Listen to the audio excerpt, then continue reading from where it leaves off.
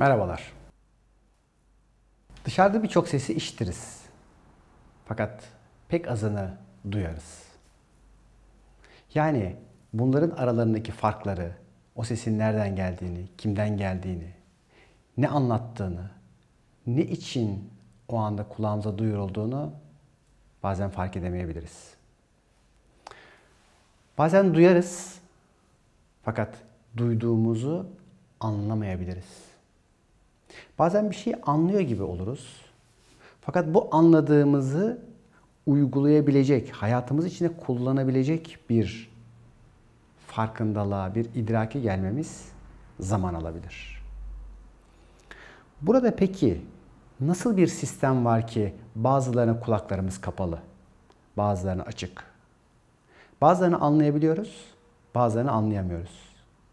Bazen bir şeyi anladığımızı zannettiğimiz halde bile onu hiç uygulayamayıp ve hayatımızda hiç onu duymamış gibi davranabiliyoruz.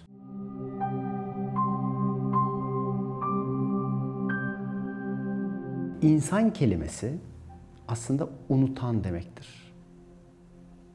Yani biz bazen öğrendiklerimizi ve bildiklerimizi tamamen sanki hiç duymamış gibi davranabiliriz.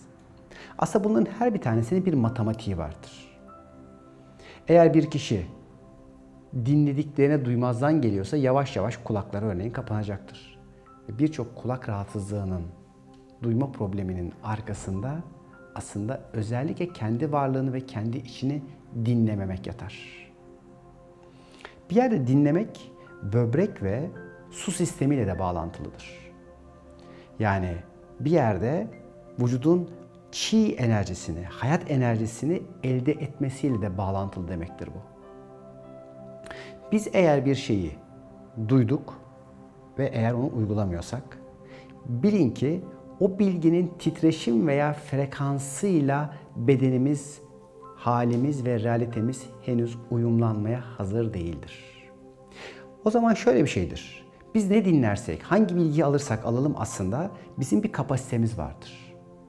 Yani çok bilgi, çok büyük bir bilgi, çok fazla kullanabileceğimiz, hayatta işe yaratabileceğimiz bir şey anlamında değildir. Bizim kendi algılama, anlayış ve realitemiz aslında varlığımızın belli ölçüdeki titreşim ve aslında bir frekansıyla bağlantılıdır. Ve bu frekansıyla eşleşeni aslında alabiliriz.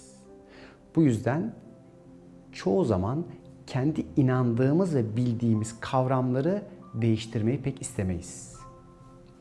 Yani küçücük bir inancın, bir kalıbın bile aslında değiştirilebilmesi bu sebepten baya bir emek ister.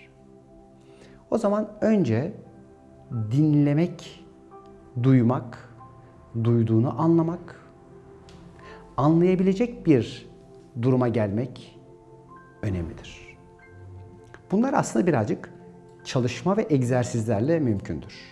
Buradan sonrası ise bizim kendi üzerimize özellikle içsel çalışmalarla, farkındalığımızın artmasıyla, fark edişlerimizin, titreşimlerimizin yükselmesiyle mümkündür. Bu kimi insanda zihinsel melekelerin örneğin çok gelişmiş olmasına götürebilir.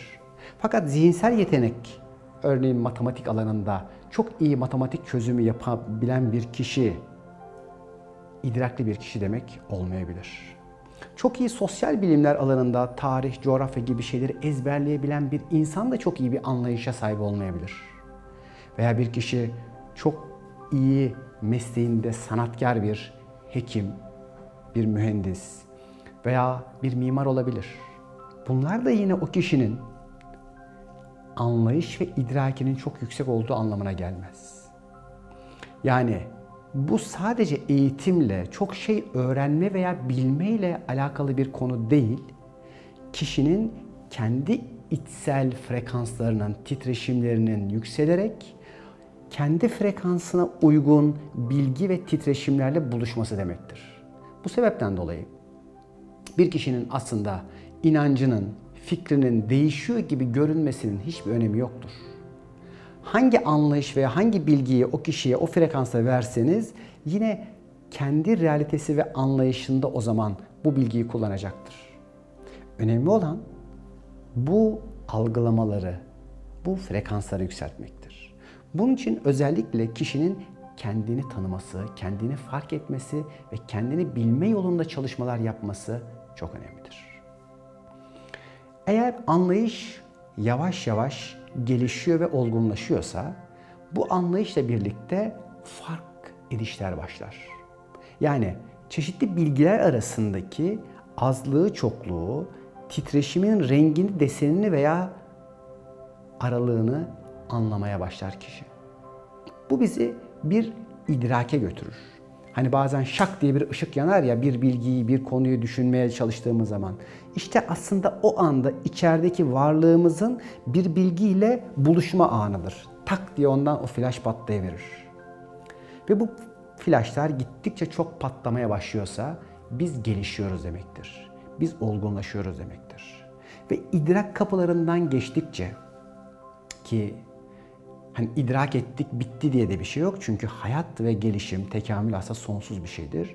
Ve bu gelişim süreci içerisinde biz gerçekten artık bir insanı kamile, gelişmiş ve olgun bir insana doğru gideriz.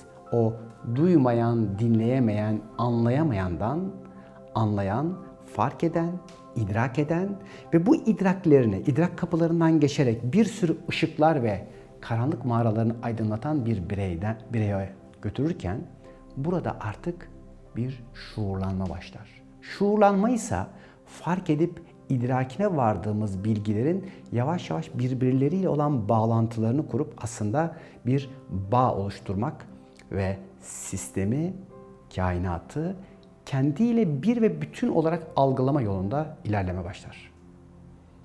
Hepimiz hayırlısıyla bu yolculukları yapalım. Şuurlanarak idrak yolculuklarını, idrak kapılarından geçerek yapalım. Hepinize teşekkür ediyorum. Hoşçakalın.